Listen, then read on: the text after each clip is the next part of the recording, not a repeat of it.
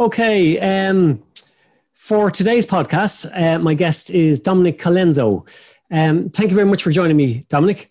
Um, Thanks for having just me. give a brief introduction uh, into your background, if that's okay. So, um, Dominic has come from a professional acting uh, background, so uh, that's a first for us in our podcasts. Um, you trained as a uh, as a director in the Royal Academy of Dramatic Art in London. You've worked alongside some of the UK's most famous actors, um, uh, appearing on the London stage in the BBC period dramas, and most famously played Virgil Tracy in the Hollywood film adaptation of Thunderbirds. Um, Yeah, that's right. years, so you'll forgive me if I don't remember. but I did actually look it up last night and told my daughter I have an actor on the podcast today. so she was very, very, uh, very, very impressed altogether. Um, through uh, your your company Inflow, um, you now um, empower businesses, sales teams, and leaders to increase the impact impact of their communication, which obviously I need some help with, and uh, help them perform under pressure. Um, drawing on your extensive experience on the stage and screen, um, you share a lot of the secret tools and techniques um, which are used by the world's uh, best actors to help your audience unlock uh, their own star performances. And you're very much in demand as a speaker, trainer, and coach. And you're also the author of the best-selling, best-selling book, Impact, um, How to Be More Confident, Increase and Influence What You Say Under Pressure. So thank you very much. Um, Thanks for having me, Peter. not at all. Um, like I said, I'm actually delighted. Um, this is obviously very different to what we normally do. Um, anyone who's been watching my podcast know they're typically very technical. Um, they're um, with a view to talking about latest technologies, industry trends, innovations. So when we uh, first discussed the possibility of doing a podcast together, um, I was a little bit skeptical. Um, I don't mind admitting, um, but I very, very quickly came to realize the the value that you bring. You know, we have a very niche uh, audience and target market that we help. Um, I think from your perspective, you do so much for so many different people in so many different industries. Um, Yeah. And I think I'd be doing my clients a disservice not to have you here. Um, so I, I really am delighted to have you along today. Thank so um, I suppose where do we start? Um, I know um, from my background, giving presentations, it was very, very difficult, and I gave some really bad presentations. Um, you know, they're still not perfect, far from it. Um, but thanks be to God, I've I've I've um, got a bit of coaching along the way. I've learned a few little tricks, um, and I think they're better than they used to be. Um, but I know that um, some of the things I've been told you co- covered in some of your books. So you know, maybe that's a good place to start. Um, I suppose again, putting putting it into context for my clients, you know, a lot of my clients are engineers. They have to present to you know the, the directors, the associate directors in their business, and their their um, their senior staff have to promote what they're delivering to their clients. You know, so we're all delivering. Um, you know, my children are delivering to me every day. They want to buy sweets or toys or something like that. You know what I mean? Um, Absolutely. So I, I suppose kids almost have it built, built in. Um, and maybe as adults, I know one of the things I was told as part of my coaching was uh, the die test, ditch your ego. And I think that's very often what gets in our way. Would you Yeah. be uh, of that train of thought or what, your own Yeah. on? I mean, I, I think you make a really good point there. If, if I think back to my training as an actor, it was all about play and it was all about, you know, stepping outside of your comfort zone um, and, and pushing those boundaries. And I think uh, when you're younger, that's probably easier. And as you get a little bit older and some of the habits get ingrained, Yeah. it becomes more and more difficult to do. But as you say, you know, whatever role you find yourself in within an organization, you're always trying to influence other people. You're always trying to communicate your message and get people to buy into what you're saying or Yep. buy what you're selling. Yep. Um, and, and so the the sort of skill set that that I help people um, really unlock is, is very universal.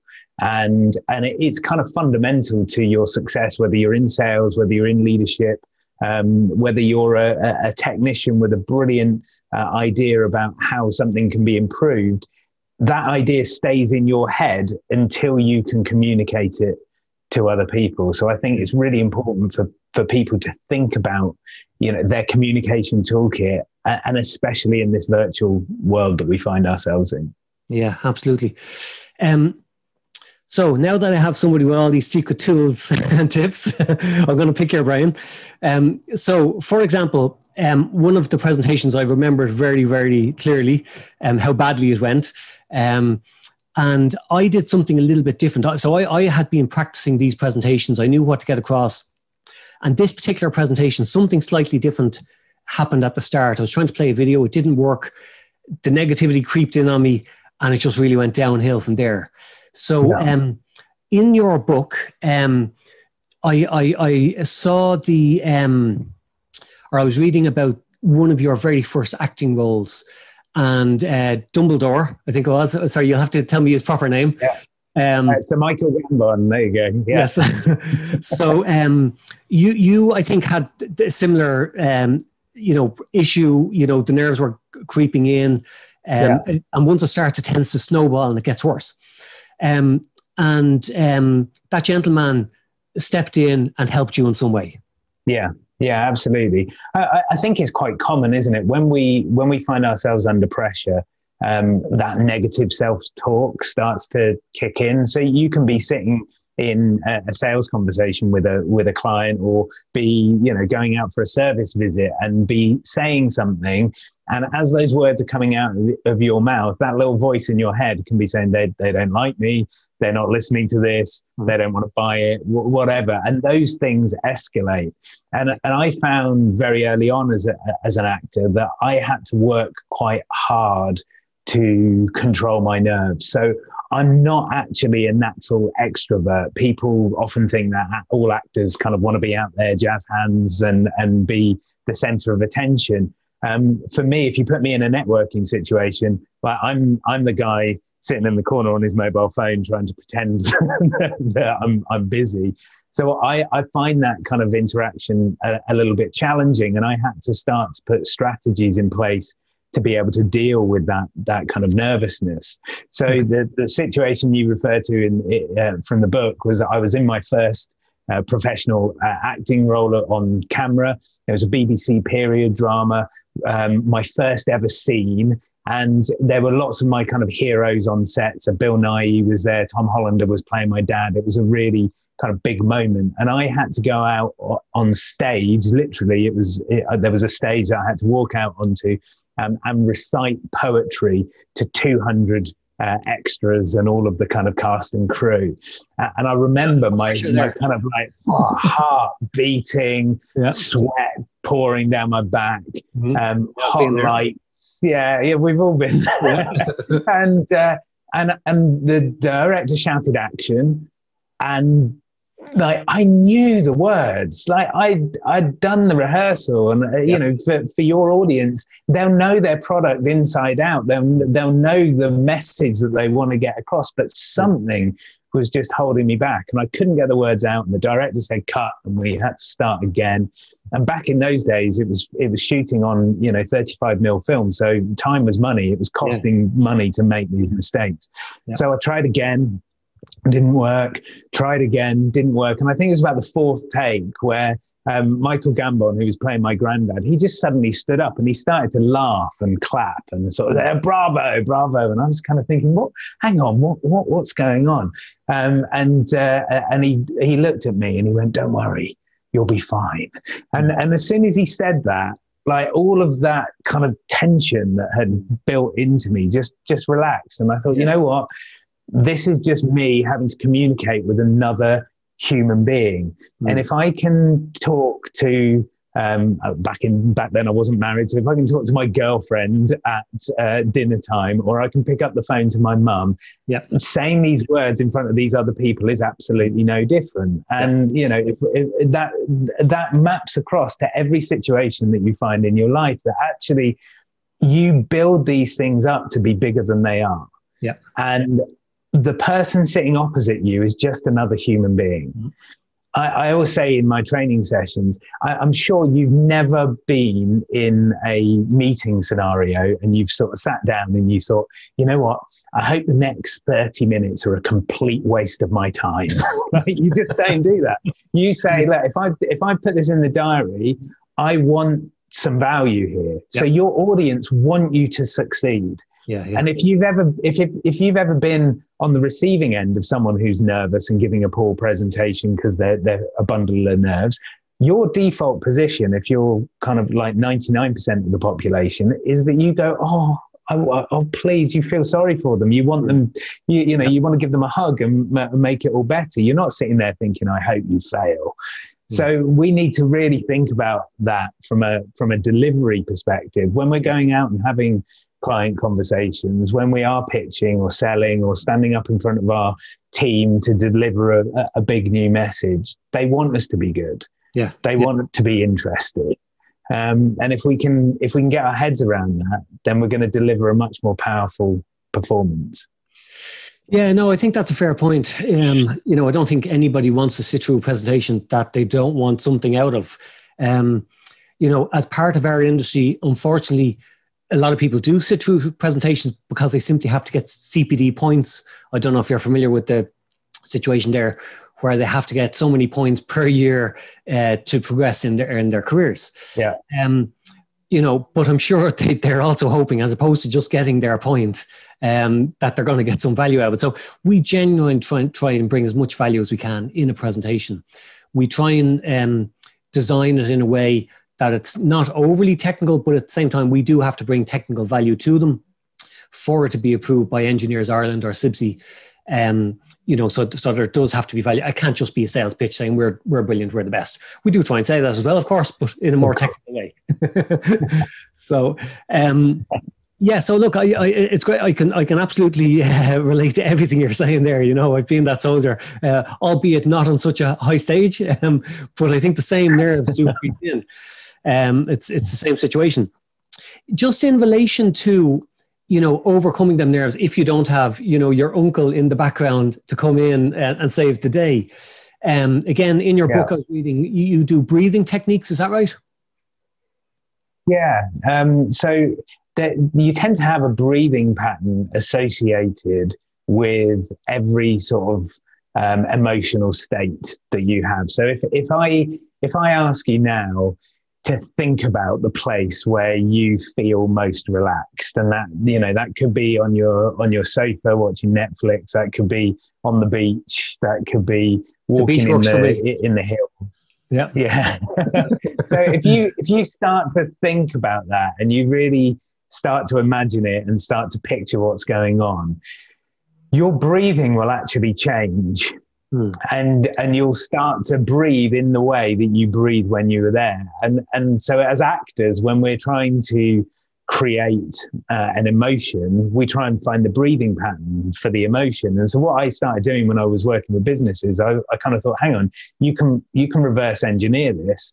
So if if we can breathe in the way, if we if we can make ourselves breathe in a way that is uh, makes us feel relaxed, then we're going to start to be relaxed. And there is there's some good sort of scientific background to this that actually what you're doing is you're increasing your testosterone levels, so your confidence hormone, you're reducing your cortisol levels, your stress hormone, and you're also bringing more oxygen to the prefrontal cortex of the brain so it can think more clearly. So it's kind of like win win win going yeah. on at this point.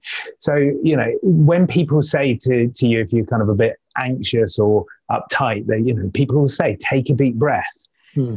And actually, that's really, really good advice. So, one of the things that I work with on clients is just getting them to work out what their breathing pattern is when they're calm yeah.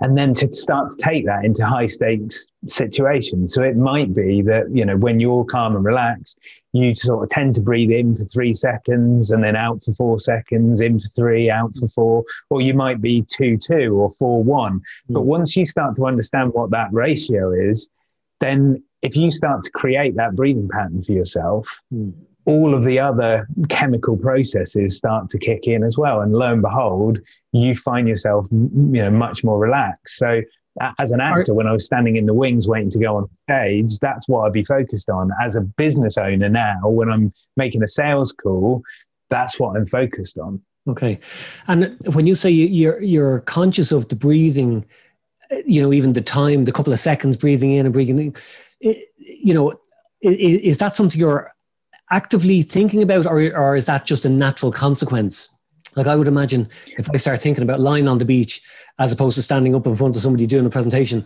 naturally you get more relaxed. So I, I presume it's a natural reaction as opposed to you're actually thinking, I need to breathe in for two seconds and out for two seconds. Is that so? What I would so what I would do potentially in in terms of preparation is before I jumped on the call or mm. before I started the Zoom meeting or as I was sitting in my car waiting to go into the client's office, I would just consciously go, okay, right, I'm gonna I'm just gonna check in with my breathing now. So I'm gonna breathe in for two seconds and then I'm gonna breathe out for four. Okay. And then I'll breathe in for two and then out for four uh, or you know whatever your ratio for calm yeah. is. So that would like that would like press the reset button. You know when the computer goes all crazy and and the only thing you can do is turn it off and turn it on again. Yeah. That that's the sort of that's the okay. same principle. So I'd be doing that. I'd be doing that reset before going into those high stakes situations. And then if I'm in there and that voice starts to talk to me, because I've been practicing this now for a long time, my first thought is, oh, I wonder what's happened with my breath. Yeah. And invariably, like my, my stomach muscles will be tight or my body will be kind of, you know, my, my shoulders will be up around my ears and I'm not breathing properly. So I'm like, okay, come on, Dominic, just, just relax, take a deep breath. And it again just will start to reset me while I'm in that moment.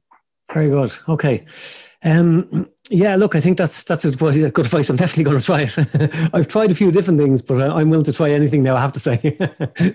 um, um, also, just um, you know, as we are here talking on Zoom, um, you know, Zoom and Teams and so on, this is the new norm. Everybody's working remotely. Um, one of the things I found actually, um, a, a, an old lecturer of mine when I was an apprentice in in college um, I then became, you know, quite quite uh, good friends with. We we shared um, various positions on the Council of the Institute of Refrigeration in Ireland. I think I was on it for about seven years or something like that. And then I actually went back to college um, a few years ago, uh, part time and night time. And it turned out uh, Jim Jim French is the gentleman's name was going to be my lecturer again. So um, a, a, couple of weeks ago, um, I rang Jim and uh, I said, Jim, how are you getting on with the, with the lecture since you're back with the Zoom? Yeah. And two of us had a really long conversation about the, the whole different dynamic because um, it's, it's very, very different. So I've obviously had to start doing these presentations, um, you know, virtual, online, and uh, typically through Zoom.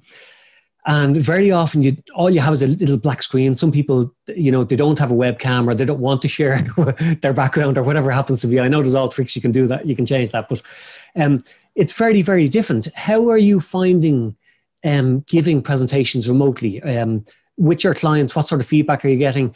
Again, are there tips or tricks as to how to deal with this? Yeah, I mean, uh, the the the biggest tip I'd, I'd give you is start to think about it like you are you know producing a little bit of tv content yeah or a or, or a youtube video yeah. uh, thing, things that have lots of different dynamics keep our attention. So if everything is if everything is the same then it's very easy to get distracted. I mean uh, as people are, are, listening to this podcast uh, they, they're bound to have their mobile phone nearby. They've probably got a web browser open. Their email might be pinging in. Yeah. Um, and so now we're in virtual, we're competing for people's attention in a way that we weren't when we were in the room. Because yeah. if I if I came and met you face to face, hmm. it would be really rude if you were talking to me and then I just sort of you know started checking my email or, or yeah. went on Facebook or LinkedIn or something like yeah. that. Yeah, Where, whereas where, whereas now there's no one there to monitor that. And especially as you say, if people aren't turning their, their webcams on, then mm. you're, you're very much in the dark. Yeah. So you need to think about creating content that keeps people engaged. So yeah. one thing, for example, is sometimes you'll be sharing a, a presentation, and you know a lot of uh, a lot of what your listeners might be doing could be very technical, so they might need some supporting material uh, on the screen one thing that I'd really suggest that they play around with is moving between sharing the slides and stopping the sh- slide share so that the video pops up again. The reason for that is that visually there is a change in what's happening in front of the in front of the audience so it will just mm-hmm. catch people's eye and bring people back in the other thing you need to think about is is duration so it may you may have been able to deliver uh, a sort of 45 minute or, or hour long presentation in the past. Now people's attention spans, we're kind of in the Netflix generation, aren't we? We want, we want like 25 minutes. Uh, mm. that is that is bingeable that makes us want to come back for more. So yes. we need to think about things being shorter mm. to keep people's attention uh, and and if you've got a lot of material to get through, then you need to think about checking back in with your audience more often. So maybe you're going to deliver for five minutes, and then you're going to open it back out and say, "Okay, so Peter, I've, I've talked about A, B, and C. Yeah. You know, what what questions do you have? Great. Nothing nothing else? All right let's move on. So the next thing i want to talk about is you know efg yeah, yeah. and then and then you're kind of chunking it down into stuff that's more bite size which is going to pe- keep people's attention. Yeah no i think that makes a lot of sense because um i i know when i was giving presentations in a room full of people even actually when i start i don't know if you're familiar again with the the the, the typical uh, format um, so with with these engineers, we normally bring them lunch. Um, so we basically talk, they eat, and then we hope for a bit of business afterwards. But I found, even whilst I was giving a lot of these presentations and they're eating, I wasn't getting the feedback because they were too busy getting their lunch, you know.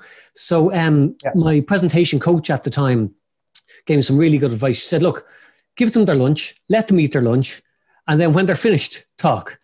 Yeah. so you have to undivided attention. I thought, but yeah. Bernie, that's not really the way it's done, you know. So uh, she says, "Well, change it." so absolutely, she, she, was a strong character, but she, she's good advice. So I did. So I used to arrive. I, I told people, "Look, I'm going to arrive early. I'm going to give you your lunch before I start. I'm going to start a little bit late to give you time to have your lunch, and then I'm going to shorten the presentation." But you know, you, you're not having to listen to me for as long, I suppose. Um, and it worked yeah. really well. But then I did find I was getting all this feedback, which was brilliant. And I actually just discovered some of the problems I was having with my nerves in the previous presentations were because I wasn't getting feedback. And I'm, you know, wondering, am I doing okay here? Um, yeah. So when I had their pretty much undivided attention, um, and I'm getting that positive feedback, it was brilliant. So jump forward to now where we're doing the presentations on Zoom, and all of a sudden I'm not getting the feedback anymore. You know, yeah, that's something you, I have to figure you you have to ask for it in this world yeah. so so now you know you need to be saying to people and and and explaining them uh, what the rules of the game are. So I, I, talk in the book about setting the frame. Yeah. Um, and when when you get into virtual meetings and presentations, that's more important than ever because people don't know what the expectations are. So if they're attending, I don't know, 10, 20 Microsoft Teams or Zoom meetings every week. Some their cameras will be on for, some they won't. Some they're only having to listen, some they're having to con- contribute to. Um, and there is there's no sort of standard approach. So mm. as the person in the driving seat, uh, whether it's your meeting and you're there to present the whole thing, or whether you've just got five minutes, it's really useful just to set the frame and say, okay, um, so great, great to have you all on the call this morning. Uh, I'd really appreciate it if you can uh, turn your camera on. And if for some reason you're, you, you know, the camera's not working, just send me a private message in the chat. Yeah. yeah? If you do that, yeah. Like 75% of people will go, even if they didn't really want to, will yeah. kind of go, oh, well, he asked nicely, go on, bang. Yeah, yeah. So then, yeah. so now you've got more faces yeah. instantly. Um, and then you might be saying, so I'm going to talk for about five minutes uh, and, and take you through an overview. You may have questions as they come along. So pop those into the chat box. Yep. And I'll pick up on them uh, as I come back. Or you may say, I want this to be really interactive. So I'm going to talk for about five minutes and then I'm going to come to each of you in turn just to see if there's anything that you want to add. If there's not, just say, no, I'm fine, Dominic, and I'll move on to the next person. But again, you're just telling people how the conversation is going to operate. Yeah. Um, and quite often, if I've got 15, 20 people on, the call and everyone's on mute, because I'll normally say to people, I, would like you to start with your cameras on, uh, but your microphone's on mute so we don't yeah. get all of that stuff. Uh, and then I'll just say, so we we're going to do all of this. Um, just give me a thumbs up if that's okay. uh, and then you get people kind of giving you giving you a non-verbal and you know that you're you're good and you're ready to to move on so really think about how you frame the conversations to draw out that interaction. Okay.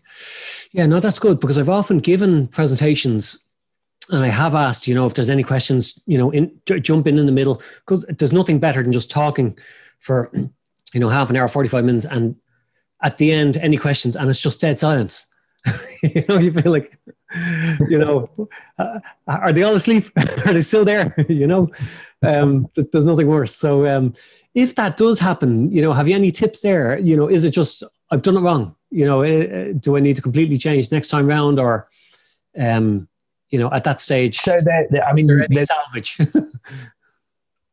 I think there is. I think one of the things that we have to get used to, whether that's face to face or virtually, is is silence. Um, and if I just say to you, okay, have you got any questions? Most people's brain goes, uh, uh, panic. I don't, I don't know. Should I have? Uh, I can't. I can't think of anything. And especially in a you know Zoom situation, people are like, oh God, I don't want to be the person that has to speak, and I can't find the unmute button. And so you know, people will people will step back naturally in those scenarios. So again, I, I will normally I'll think about how I phrase the question. So, um, do you have any questions? Is it is a closed question? So yes, yes or no. Yeah. Um, what questions do you have? Presupposes that there's some questions in the room. Yeah. So people are like, oh, I don't know. What questions do I have? And that will get them to start thinking about you know the question that they want to ask whether or, rather than whether or not they have questions yeah um and and then i'll normally just be quiet Okay. And then if I don't hear anything back, I'll say, you know, I'm I'm sure there are a few things that people want to ask. So while you're formulating that, let me just give you a recap on the three last points that we covered. Yeah, and I'll and I'll relay that information, and then I'll come back. So okay, so uh, so so what questions have we got? Yeah. And then normally by that time, someone's like, yeah, actually, I am I'm I am ready to ask. So okay. just be you know be mindful of putting your audience on on the spot because yeah. you know that that that normally puts people into fight or flight mode rather yeah, than that sense of relaxation. So, so perhaps ask them um, if they have any, or have a think about any questions they might have before the summary. Yeah, or I'm finished asking at the last minute. Yeah, and you know, so you you might even say, okay, so I'm I'm just gonna, you know, I'm gonna I'm gonna wrap things up now and summarize what I what I've just said. Then I'm going to open it up for for questions. So I'd love you just to have a think. You know, what what has caused you to be curious? Was there was there anything that I missed? Um, you know, how can I help you to uh, understand more about X, Y, and Z feature, you know, plant those ideas in people's heads. And the other good thing, if you're in if you're in real life, um, is uh, and you have this opportunity, plant someone in the audience with a question. Okay. So, t- so tell them in advance what question you want them to ask, because normally, and you'll you'll observe this now that I've said it, but normally, as soon as one person has a question, other people go, oh, okay, well, all right, I'll ask my question now. But we, we, a lot of us will sit back and wait for someone else to be the first. The first so if you yeah, can, yeah. if you can tee someone up with a good question um, in advance, then that normally unlocks the floodgates. Yeah, I, I think I suppose a big part of the issue, I think, perhaps might be a lot of these people I'm presenting to. They, they, they probably don't want to be you know seen to be the one that doesn't know something perhaps they're you know they're engineers um, yeah. You know, their superior managers or, or, directors could be in the presentation with them, and you know they might be mm-hmm. nervous. Very often, when I find there's a, you know a hierarchy, it's very often the more senior people that will ask the question. You know, because they yeah. they don't care. You know, um, yeah. so um, you know, and they're not afraid. And and if they have something they genuinely know, or you know, they they believe that their employees might want to know, they'll ask it even on their behalf you know on their behalf yeah yeah and, so, and sometimes it can be you know if you if you have a relationship a stronger relationship with one person in the room sometimes it's worth kind of fielding them as a kind of ally so you, you know just saying um, david i know when we were talking on the phone last thursday you were concerned about A, A, B, and C. Mm-hmm. You know, is it, um, uh, what, what what would you say right now, having heard uh, what you've just heard? You know, so just just using anything you can to tease out that level of interaction. Okay, very good. Okay, look, I don't want to take up too much of your time, Dominic. Um, is there anything else? If I was to say, what's the best piece of advice you could give me? What would it be? Oh, I think just putting on the spot at the last present. minute. yeah, I think stay present is the the most important thing that that I learned from a from a communication perspective, but also just a life perspective. You know, you do do the thing you're doing and and play full out because there are there are so many distractions and that's been a theme of what we've been talking about today. But actually, you know, when when you're having a one-to-one conversation with mm. someone be with that person. When you're speaking to a group be with the group. Don't be thinking about what's coming next. Don't be thinking about what's just happened but really you know be be there to serve. And, and when you are then other people feel that. And and you know that's that's the kind of um, the X factor. You you you think about if I think about any of those great actors that I've I've worked with um, their real ability was to be in that moment not to be anywhere else Okay, very good, great. Um, I think that I did I read in your book about Bill Clinton walking down a street in London. Was that in your book? Yeah, yeah, yeah, absolutely. I did, I did yeah. um, and he never said a word, but as he walked down, he literally just made eye contact with various people, and yeah. like a masterclass. I think was how you phrased it. Exactly, and it, it, it just makes people feel seen and seen and heard because he was yeah. he was right there he wasn't worried about what was coming next. He was just being on that street with us. Yeah, I see him and maybe Obama as just some of the best speakers. You know, they just have this natural ability. Now, when I say it's natural ability, I'm sure they've got a lot of coaching and you know training, mm. well, but it comes across so so natural. Um, I, I, yeah. I'm in awe of them. Uh, I mean, if you go back and look at some of Obama's early stuff, right, right at the beginning of his campaign, as he was uh, as he was going for the the um, Democratic nomination, hmm. he was actually dreadful. He really was, and I, am sure he he would admit it. All the video footage is out there on YouTube. So these are, these are skills that you can learn, and that's what I love about my job is hmm. that I I get to go out there and give people very simple tools and techniques that really do have a massive impact on on how they perform. Yeah. so don't don't think that you either have it or you don't. That's just not true. You you just don't have the tools yet to be able to unlock that performance. And yeah. you know once once you start to understand the, the levers that you can press, the things that you can turn up, and the things that you can turn down, um, then you'll you'll discover that actually the the way you communicate changes very very quickly. Yeah. Okay. Um, yeah. No. Look, I'm I'm I'm completely bought into a lot of this stuff because um, obviously I'm showing very much of a, a vulnerable side of my my uh, job here today. Um, but you know, I think it's uh, you know, th- there's no harm. Uh, we're all human. Um, we all sometimes have to develop into other aspects. Um, no matter how good of an engineer or how bad of an engineer, um, that doesn't mean you can be very good at presenting what you know. So uh, that's something I've certainly had to learn. I, I, created a YouTube channel as well a couple of years ago, and I do technical vlogs. And um, when I started, believe it or not, I found I was the most comfortable in my car. So I started doing the vlogs as I was driving, and um, I was getting a bit of feedback saying oh, it's carpool carpool karaoke here time, you know. so but I actually used to race motorbikes and I used to teach people how to, to race cars uh, in Mondello, a racetrack uh, in the south of Ireland. Okay.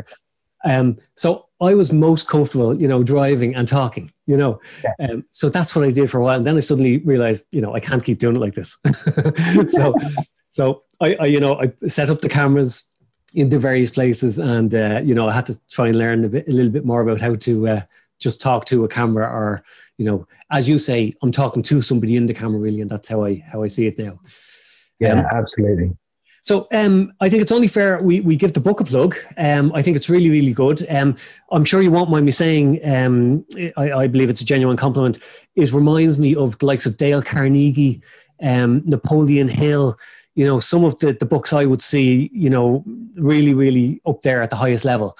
Um, there's Thank so you. many things that that uh, are very, very similar, and a lot of it I know is is um, you know is old school. But I think you've brought it you've brought it forward. You've probably compressed it, so it's very good as far as you know some of those other books you know they are books you know yeah, yeah. so, uh, it's it's uh, it's it's very very readable um so uh, I, I really couldn't recommend that highly enough and um, I don't know if you want to give your own business a pitch there feel free Dominic because um, I know you. yeah absolutely uh, the book's available on on Amazon. It's also on Audible as well. So if you're not a reader but you do prefer to listen, um, then uh, you can listen to me reading the book uh, over there. Uh, our business is uh, inflow.global, so www.inflow.global. And uh, we offer training and coaching to businesses, mainly around you know pitching, uh, leadership, communication, and, and generally helping people to have more influence in those high stake uh, moments. Uh, and also, I do a lot of work now speaking at conferences um, and uh, and uh, company events. So, if you're looking for a speaker uh, and you want someone to help motivate your team and get them thinking about how they communicate, then I'd be very happy to have a conversation. So, just drop me an email. That's Dominic at inflow.global. Brilliant. Um, I'll, I'll uh, type that up at the bottom of this. Um, so, Dominic, thank you very much. Really appreciate that. Pleasure. Thanks, Peter. Please go. We'll talk again soon. Cheers.